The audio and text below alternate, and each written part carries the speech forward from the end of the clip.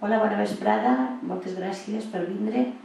Eh, avui oferim la conferència dins del cicle de, de conferències contra la violència de gènere que es diu Com, com educar en la igualtat a través dels contes. Està basada en estos dos llibres de contes eh, que estan en valencià i en castellà. No dejes que crezca sin la magia de los cuentos. Eh, jo volia oferir-los a través d'estos contes el següent. Com a través dels contes podem ensenyar als nostres fills a ser competents en la vida i a saber com viure en una societat en la que hi ha violència i nosaltres, a través de l'educació, estem intentant evitar-la. Aquests contes us he de dir que han sigut elaborats a través de la meva experiència docent, els he practicat en les meves aules, i soc professora, i també eh, com a mare els he treballat en el meu fill. I ha sigut la meva forma personal d'educar de, per a la igualtat i volia compartir-la en, tots, totes vosaltres. Eh, penso que són una alternativa als contes tradicionals perquè com i també he treballat moltíssim ensenyant els contes en les tres llengües, en el plurilingüisme. Soc professora d'anglès en castellà, en valencià i en anglès. I ahir veureu una exposició dels meus contes ahir i veureu com eh, contes són una alternativa als, meus, als contes tradicionals ja penso que ja està bé d'educar en la por. Les xiques no han de tindre por, han de, complir, han de complir les normes, perquè ells comprenen que això és el just, però no en la por. Perquè la por porta violència, i la violència sabem a arribar, i no podem viure en una societat en por. Penso que ja s'ha bé que el personatge, els contes tradicionals, en tot el meu respecte a les persones que els usen, eh, a vegades resulten un poquet violents i que els nostres fills necessiten altre tipus de valors. I els valors que jo pretenc treballar en aquests contes que es veieu així en la pantalla, en, tant en els contes en valencià o en castellà com els contes plurilingües en castellà, en valencià i en anglès, eh, són aquests. Convivir democràticament i en igualtat. Voldria una societat en la que hi haguera igualtat d'oportunitats per a tots i totes i que les relacions familiars estigueren basades en la igualtat de sexes, la tolerància i el respecte. Podíem pretendre crear un model familiar en què la, el, la cura dels fills, les persones majors i tot, estiguera tarea compartida entre el pare i la mare, que els dos membres de la parella treballaren d'igual a igual en casa. I que les decisions foren preses en família, en consens, escoltant-nos tots, els pares, els fills, totes les persones que viuen a casa s'han de tractar amb mateix respecte, sigui home, dona o fills. Els fills és molt important, i això ho diré després també, parlar-los en respecte.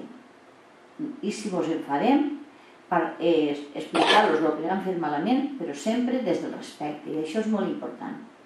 No faltar-nos el respecte i no cridar-nos. No alçar la veu. Dir el que s'ha de dir, però sense faltar-nos el respecte. Això és molt important.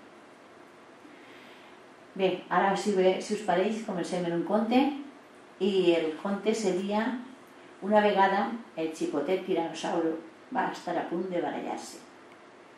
En este conte jo utilitzaré la pluja d'idees. La pluja d'idees és que una sèrie de... donar, donar peu a que, a que els xiquets, xiquetes que es contem el conte participen i diguen coses. Diguen el que ell, com ells o elles pensen que continua el conte, per a que s'involucren i que participen en el conte i entren en el conte. I aquest conflicte que jo estic plantejant en el conte el visquen. I aquesta és la manera de, de que ells adquirisquen aquests valors. Hem d'intentar, quan fem la pluja d'idees, orientar-los. I quan diuen una cosa bona, apreciar-la. Si diuen una idea que no ens interessa, que és una idea violenta, tirar-la cap a fora. I això, ahir és molt important la, la tasca de la persona que conta el conte. Anem a començar. El xicotet tirano sempre s'alimentava del menjar que li portaven papà i mamà. Va anar creixent fins a un dia que va descobrir que li agradava una jove molt simpàtica. Va anar a veure-la. Es va trobar amb un problema. Al gegant el dinosauri més fort de la manada li agradava la mateixa jove. Gegant va desafiar a, Tir a Tirano a un combat de mort. El guanyador es quedaria amb la jove. Des de petit, Tirano sempre havia estat en contra de barallar-se per aconseguir les coses. Per altra banda, sabia que no podia barallar-se amb el dinosauri més fort de la manada perquè perderia. L'única cosa que superava era en intel·ligència. Va estar tres dies pensant. I ara preguntem, què penseu que va pensar? Què va decidir? Algú dirà, anar-se'n, fugir. Però és que si fuig, el perseguiran. És de covards. Si baralle, el matxacarà. Què fa? Ell que és, és més dèbil però és més intel·ligent. Eh, parlar. Parlar. Parlar. Intenta parlar però l'altre vol pelear. I va pensar, va idear, va gastar la intel·ligència, va idear un plan. I seguim. Soc el més fort del grup, et venceré, va cridar gegant. No, jo sóc el més fort, va cridar el petit tirano, seguint un pla. Si de veritat eres més fort, has de demostrar-ho en una prova inicial. Quina prova inicial? No hi ha res que, no, que et faci por. No hi ha res que no puga vèncer, cridava gegant furiós. Sí que hi ha una. Quina? Llançar la pedra el més lluny possible a l'altra banda del riu. Accepto, va dir el gegant orgullós, i després lluitarem. No hi havia manera de que deixés de pensar en violència. Tirano va llançar primer. Va anar a parar la pedra molt lluny. Era el seu joc preferit des de petit. Gegant va voler superar-lo. La va llançar de tal manera la pedra que va caure de cap dins del riu i va, i va ser arrossegat per la corrent. Es va quedar ferit durant molt de temps. Ahí no podem acabar. No? Serà. Mentrestant, la jove es va enamorar de Tirano per la seva intel·ligència, perquè era capaç de solucionar les coses sense fer servir la violència i perquè mai va tenir que, que, com, que va tenir lloc el combat a mort d'en gegant. Tirano no només li va perdonar la vida a gegant, sinó que li va curar les ferides i li va donar de menjar fins que va estar bé. A partir d'aquest dia va aparèixer un nou costum. Les diferències es solucionaven parlant i per desempatar tiraven una pedra ben ben lluny. El dia que Gegant va acabar de curar-se, Tirano i la jove ja s'havien casat i tenien fills. Gegant s'havia quedat sense feina. Quina feina li buscarem a Gegant? Tirar pedres. Una altra i si algú es baralla allà, quina fa, eh, quin treball faig jo, faré jo ara? I pensem, pensem, pensant, el tirano li diu, què tal si comences fent de cuidadora dels meus fills i filles? Va dir el tirano. Gegant va acceptar encantat i durant molt de temps van viure feliços i en pau. Pues así teniu en estos llibres contes com este, que ara en contaré uns poquets més, acabo de contar un conte de dinosaures, en contaré uns poquets més. Eh, sí que hi ha situacions que ens trobem en la vida quotidiana que hem de, de per aconseguir, l'objectiu d'esta xarra és que hi hagi cada vegada més harmonia en la vida familiar i en la parella. Ens trobem eh, homes masclistes amb tendències violentes contra els que estem avui fent la xerrada i sí que he de dir que un home, un home que sofreix necessitat de la, durant la violència té un complex d'inferioritat i necessita tractament psicològic.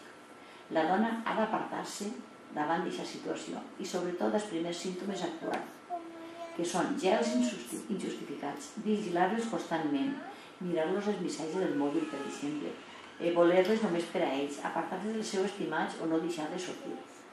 Després, l'altre estadi més baix eh, són els masclistes tradicionals que dominen o infravaloren la dona però no són violents. I per culpa d'aquestes situacions han sigut la majoria de separacions dels últims anys. Després estan els progressistes que diuen que ajuden, que col·laboren, sí que col·laboren en casa, però també se recorden de col·laborar dissabtes i que estan descansats. Això tampoc és igualtat. I finalment són els progressistes que sí que comparteixen, sí que compartís la parella en igualtat i sí que se conviuen en harmonia i respecte. I aquest últim estadi és el que volem arribar. I per aconseguir això, eh, com a dones, eh, hem de valorar-nos com a persones i no tolerar injustícies ni, i evitar els privilegis. Hem de fer les coses que ens agraden i els que fan feliços i no fem les coses per agradar a la parella. Viu per, viure per a nosaltres i no per a la parella. I sigui ser independent emocionalment. Mai s'ha de dependre emocionalment d'una altra persona. En els contes se treballen el que s'anomenen competències bàsiques. Les competències bàsiques són aquestes xicotetes coses que es fan poderosos, que es fan competents, que es fan forts en la vida, que ens ensenyes a conviure i que no només ens ensenyen els coneixements, sinó les estratègies per utilitzar-los i saber quan utilitzar-los i com. I s'aprenen i se renoven al llarg de la vida. Cada dia jo, per exemple, avui, si xerrem, doncs aprenc coses. Aquestes coses que aprenc les aplico a les que ja conec.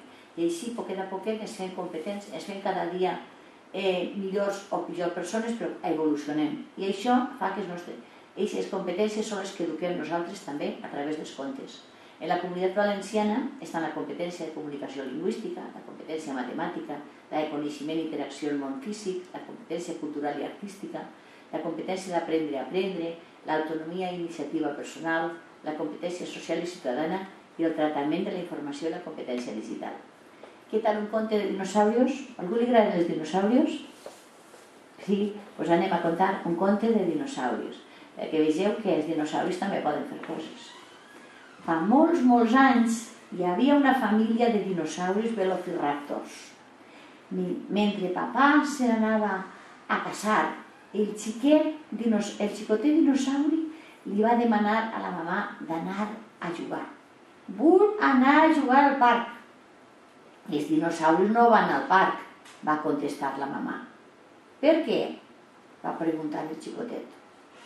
Està bé, anem al parc i comprendràs, va dir la mamà, que no sabia com explicar-lo. El xicotet dinosauri va intentar bronxar-se, però no va poder per la seva llarga cua. Ho va intentar amb el tobogan, però quan ell va pujar, el tobogan aquest es va trencar. Va intentar pujar al castell i no cabia entre les barres perquè el xicotet velociraptor era massa llarg. I què penseu que va fer el, dinos, el Velociraptor? Què penseu que va fer? Algú ha dit jugar a futbol? Futbol? Va, es va, ella se n'anava desenganyat cap a casa quan un grup de xicotets dinosaures va arribar amb un baló. Li van invitar a jugar. Van fer un partit de futbol genial, xutàvem amb la cua. S'ho van passar d'allò més bé. Des d'aquell dia, papà i mamà sempre el deixaven anar al parc quan ell ho demanava. Sempre hi hauria algun joc a què sí que podria jugar. Eh? Hem de veure que tots i totes tenim una part bona i l'hem d'utilitzar. I en els contes treballem les vuit intel·ligències múltiples que parla Hotwell Gardner en els seus estudis a la Universitat de Harvard, parla de que tenim diferents tipus d'intel·ligència, que cada persona tenim de desenvolupar una intel·ligència i s'han d'educar totes aquestes intel·ligències per a que totes les persones arriben als coneixements. Els contes, en els contes s'utilitzen, s'estan educant totes. La intel·ligència lingüística verbal, que és la que, la que se té molt desenvolupada les persones creatives, la intel·ligència matemàtica també se gasta en els números i persones que, que no són bones en, en, en lletres, però sí que en matemàtiques, a la millor, inclús xiquets que no saben llegir, poden, poden comprendre aquests contes o la, la intel·ligència espacial, dalt, baix, dins, fora, dalt, baix, etc. La, la musical, podem cantar cançonetes, la intel·ligència sinestèsica, eh, fer, fer representacions del conte, la inter, interpersonal, la perdó, que coneixem a nosaltres mateixa, coneix els altres, i la interpersonal, aquesta capacitat que se'ns dona a saber actuar davant de certes persones en cert moment i saber com torejar-nos aquesta situació i la intel·ligència naturalista que la van llevar després, que és la de conèixer el medi, conèixer l'entorn. Un altre conte? Sí? Era, bé, este és un conte que diu quina obsessió. Vamos, anem a imaginar-nos un xiquet que li encanta pintar. Li agrada tant, tant pintar que, que no para. Que totes les tardes, quan és d'escola, agarre i vinga pintures, i vinga fulls. I pinta molt bé, això sí, pinta molt bé però és que el pare i la mare tenen la, la casa plena de fulls, ja no saben on ficar els fulls de tant que pinta, el xiquet i tan bé que ho fa. Però jo dic, fill meu, pintes massa. Però és que segueix pintant i segueix tenint moltes, moltes ganes de pintar. I papà i la mamà diuen, és xicotet, si agafem i fiquem les pintures i els fulls allà dalt de la prestatgeria, el més alta, no pintarà. I això fan. Agarren els fulls i es pugen i es fiquen dalt de la prestatgeria, dalt de tot. I agarren les pintures i també allà dalt. I el xiquet mira a buscar les pintures, no estan. Què fan? I se queda. Ah, doncs no estan, no estan. Però pensa un poquet, se queda pensant.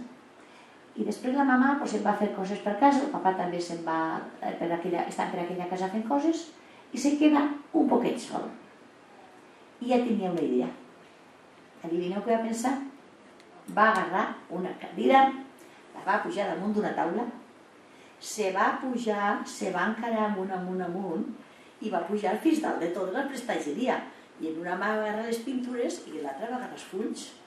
I ja estava allí tot content, baixant, baixant per la, per la, per la cadira, quan se va tambalejar i bum, pom, pom, pom, va caure tota en terra i el papà i la mamà, un de la seu, l'altre del saló, van sentir aquell, tro, aquell so. Què penseu que va passar? No podíem acabar el conte, que no, és molt feo.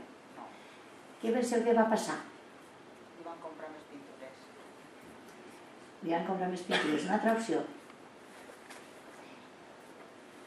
eh, no s'oblideu que se va pegar un bon xitxó i que estava ferit. Què és el que van fer el papa i la mamà?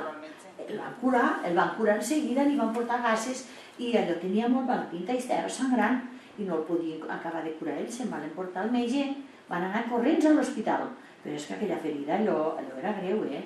Allò era greu i s'havia pegat un, bon, un, un trompà i el van tenir que ficar en observació perquè s'estava marejant i va haver, van haver-lo d'ingressar a l'hospital, van haver d'estar el pare i la mare cuidant-lo diversos dies i perdent la faena perquè, perquè clar, el xiquet estava malet i el més important per la família. El pare i la mare se tornaven a l'hospital i després d'una setmana de molt dura van tornar a casa.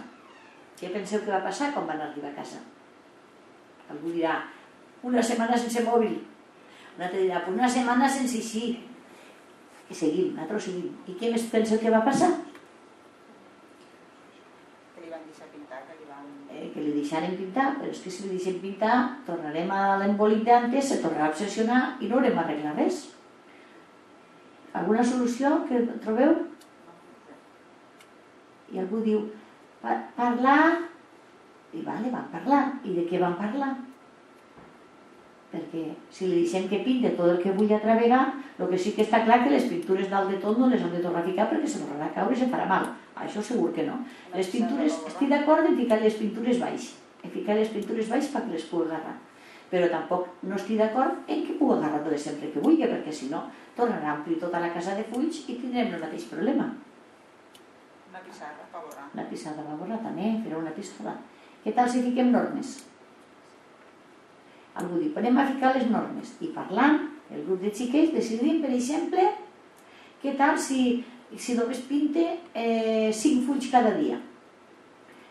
I si un dia se passe, què fem? Hem de ficar un càstig si un dia se passe, perquè no se pot passar. Dos dies sense pintar, està bé? Pues, que només pot pintar 5 fulls cada dia i dos dies sense pintar si se passe. Acordat en el xiquet, els pares i el xiquet, i així és com el xiquet complirà. Ahí podem acabar el conte, seria preciós. Però un xiquet dirà, per què no gaste l'ordenador? Jo dic, tens raó, gastem el pell de l'ordenador i no cal gastar ni pintures ni, ni fulls. Però aleshores diran, ai, però, i si s'obsessiona i se tira tota la tarda enganxada a l'ordenador? Ahí també se pot viciar. Què podem fer? Dos hores només. Dos hores només. Dos hores només. Si se passe, un dia sense pintar. Fiquem normes. I així és com podem crear contes, adaptar-los, fer participar als nostres alumnes, als nostres fills en contes, que disfruten, que visquen el conte, que entren. Podem parlar de veritat, podem parlar de, de jocs d'ordinador, de com se vixen a la consola, podem parlar del botelló, clar que podem parlar de, del que vulguem, però en contes, en respecte, en diàleg. Eixa és la manera de comunicar-nos i de fer que els nostres fills interioritzen els valors. Hem d'educar per evitar l'assetjament i la violència i com treball en equip i convivència democràtica, és molt important. és molt important, com he dit abans, parlar-los en respecte, escoltar-los. Això és molt important. No mai dir mentires, no educar els nostres fills en la mentira i establir unes normes i uns límits que, ses, que no se passen. I per això, per, fer, per, ficar, per ser més durs, durs no, no se tracta d'amargar-los la vida, però sí de portar-los rectes. I això ho podem fer escoltant-los, ficant les normes i els límits de manera que ells participen a l'elaborar-les. I si ells han decidit que aquesta norma és justa i que aquest càstig és just, quan no compliran la norma, compliran el càstig. Quan, ah, també volia comentar-vos què hem de fer quan el nostre fill o la nostra filla es presenta, o la nostra neta o la nostra neta, es presenta en un problema. És molt important. Ah, dime, dime. Deixa el ganxillo, deixa la tele, deixa tot el que estigues fent. Senta davant d'ell o d'ella i mira'l. Quan te parle, en respecte, escolta'l en respecte i no l'interrompisques. No, en cap que te diga una barbaritat, que te diga ho he suspès tot i, i, i, i no he anat a classe, per exemple, no t'alteres. Penses el que penses en aquest moment, seguís, fes un poc de teatre i no t'alteres. Perquè si te poses a cridar-li ja no te contarà res més. És important que l'escoltes en respecte i que no li crides quan te parli. I no llevar l'importància, encara que el xiquet pensi que això és molt important per ell, potser per a tu és una tonteria, no passa res, no li dones importància. I no ens hem de burlar no ens han de burlar. I quan hem acabat de parlar, no ens han de comparar ells quan tenim la nostra edat. Això ho vam solucionar-ho, i per nosaltres és una tonteria, però per ell no, per ell és una muntanya, pobret. És molt important que quan acabem de parlar el nostre fill o filla fem un resumen de tot el que hem dit i de la conclusió que hem arribat. I és possible que no trobem solució en aquest moment, però ell sap que compta en una persona que l'apuja i que li donarà força per a prendre decisions. I quan tindrà un altre problema no tindrà por a vindre i contar molt hem de fer que se senten segurs en el nostre llar, en la nostra casa, i que vegin que ahir és un lloc on formen part del nucli familiar. I hem d'afrontar això en respecte, eh, mostrar interès per les coses que en diuen, escoltar les seues opinions i que la seva autoestima és molt important que la reforcem. Hem de valorar el que fan bé i dir-los mira, m'ha agradat molt avui que has de repetir la taula i ho has deixat tot el puesto. És que nosaltres el dia que ho fiquem tot el puesto no es diem res, però el dia que s'ho deixat pel mig es peguem un puro que pobrets. Pues el dia que ho fan bé, els ho han de dir també. Hem de ser tolerants en les limitacions. Si un xiquet, pobret, només mostra més que cinc, no hem de dir que, que, volem que siga metge, perquè no pot. Hem de ser tolerants. I quan, quan s'està esforçant d'haver aconseguit alguna cosa, ho hem de valorar. I la responsabilitat la educarem fer-los participar en coses que sí que poden. I així ells veuran que sent els més dèbils de la casa són respectats. I ells el respecte és el que després traslladaran en l'escola, en la família, en la parella quan el tinguin. I, altra, i quan estaran davant d'una persona dèbil la trataran en respecte. I això és molt important. Els han d'ensenyar que quan s'equivoquen els errors són aprenentatge, no estan fracassant. I que d'ahir s'aprèn. I que Eixa de, ja sap que aquest camí no és el correcte, però hem de buscar un altre que sigui correcte. Els han d'establir, sobretot això, les normes, els límits, molt important, fins on poden arribar. I escoltar-los a ell, ells també. I si a vegades no tinguem por a dir que no. I això de dir, ai, no, no, és que he inventat una mentira per justificar no, t'he dit que no perquè no, perquè penso que és ruïn per a tu i no te vaig a comprar aquest juguet o aquest joc de consola perquè en tens prou i, la, i les de la meva responsabilitat com a educadora teua no te ho haig a comprar i si te ploren i patalegen doncs ja acabaran no cedisques ante el xantatge emocional perquè això, i no lleves càstigs. Quan està ficat un càstig no el lleves perquè si no estàs perdut. A la vegada no compliran. Si has ficat el càstig a mi queda d'eixina s'ha de complir. I entenc que no te paregui bé però això no tinc. Siguem firmes. Si mos ploren, quan no se dir que si mos ploren mos patalegen, perquè si no després això no se soluciona. Un poemeta. Educar democráticamente, educar democráticamente es lo más difícil y requiere tiempo. Usar el diálogo para decidir. Escuchar a tus, hijos, pero ponerles límites y unas normas claras que cumplir. Permitirles expresar su opinión. Saber decirles no, no y no Serán fuertes ante la frustración, serán tolerantes, buscarán la justicia y estarán preparados para convivir en pareja y enfrentarse a la vida. Bé, eh, com una xicoteta reflexió us diré que els valors es transmeteixen vivint-los i donant-los sempre. Que els diners van i venen, però les persones ens quedem. I que hem de pensar el que és realment important i lluitar per això. No deixamos manipular, és important l'educació emocional per a ser forts emocionalment educación de les relacions en respecte i en igualtat, una convivència en la diversitat cultural, on tots i totes hem de tindre les mateixes oportunitats i drets humans. Coeducar, escoltar els nostres fills, que participen en l'educació, que sabien que siguin tratats en respecte, perquè només tratant-los en respecte aconseguirem que ells siguin respetuosos en el resto de la gent. I no usar els crits, sinó el diàleg per a solucionar els problemes i així poquet a poquet farem que els xiquets adquirisquen valors. No hem d'oblidar mai que si els xiquets se sentixen escoltats i compresos, augmenta la seva autoestima. Hem de fer que se senten seguros, compresos en casa, que, que ells hagin escoltar altres més dèbils i respectar les opinions. I així poquet a poquet seran comunicatius. Afrontaran qualsevol problema parlant-lo i en serenitat i respecte, però mai en violència hem de mostrar interès, empatia, per, i posar-nos al seu lloc i valorar les seves opinions. Hem de respectar-los com a persones. I només així, educant així, posarem una base sòlida per a que no hi hagi violència de gènere en la nostra societat. Perquè l'objectiu, com he dit abans, d'aquestes xerrades és evitar la violència de gènere. Jo penso que des de la raïl, des de l'educació, pares, pares, mares, mestres, eh, societat en general, tenim molt, molt que aprendre i molt que fer. Que no som perfectes ningú, però podem aconseguir-ho. I un conte, els patos, algú li agrada la família, la família d'ànecs que s'anava al bosc? Este en castellà. La familia de patos se iban al bosque. Había una vez una familia de patos muy orgullosos que vivían en el prado. Habían oído decir que sus primos, que habían ido a vivir al bosque, disfrutaban de una vida maravillosa y no les faltaba de nada nunca. Eran tan orgullosos que no quisieron preguntar a nadie sobre el camino del bosque. Decidieron irse al bosque por la noche. Papá, ¿estáis seguros de que este es el buen camino? dijo el pequeño. Tú no te preocupes, que yo siempre encuentro el camino, dijo su padre orgulloso de sí mismo. El pequeño no quiso preguntar más. Siguieron caminando. Después de medianoche Caminando se encontraron que tenían que cruzar por una gran cascada. Tuvieron que echar marcha, atrás y volver a casa. Decidieron irse al bosque por otro camino. Al día siguiente, ¿estáis seguros de que este es el camino? preguntó el más pequeño. Naturalmente, contestó el padre orgulloso.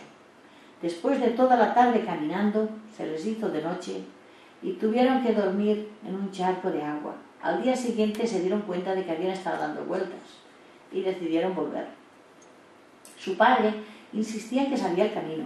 Cada vez estaban más perdidos. Y entonces, bueno, ¿qué hacemos? Es que no tenían GPS, los patos, los pobres no tenían GPS, no lo habían inventado todavía. Y ahora buscamos soluciones. ¿Qué pueden hacer los patos para irse al bosque? Porque tú crees que van a preguntar por lo orgullosos que son. Yo creo que no. ¿eh? ¿Qué creéis que van a hacer si, no, si, no son, si son demasiado orgullosos para preguntar? ¿Alguien dijo un taxi? Venga, pues eso, alquilaron una lancha taxi que les llevara directamente, ya que les daba vergüenza confesar que no sabían el camino. Preguntaron y el viaje costaba 2.000 euros, pero solo tenía 900. ¿Y ahora queréis, creéis que se van a a preguntar el camino o no? Sí. Pues no, son demasiado orgullosos. Decidieron entonces que, que bueno, que escribieron una carta a sus, a sus, a sus primos les dice, y, y, les, y, les, dijeron que, no podían ir porque, porque, por eso, porque era muy cara la lancha taxi, no podían ir.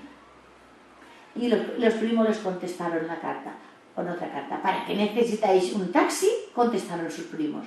Estáis solo a media hora de camino, rodeando la montaña, os enviamos un plano. Hicieron el camino que les habían aconsejado los primos y llegaron al bosque, Desde entonces vivieron felices en el bosque y aprendieron una lección. Cuando uno no sabe las cosas, debe dejar, su orgullo de lado y preguntar a gente con más experiencia.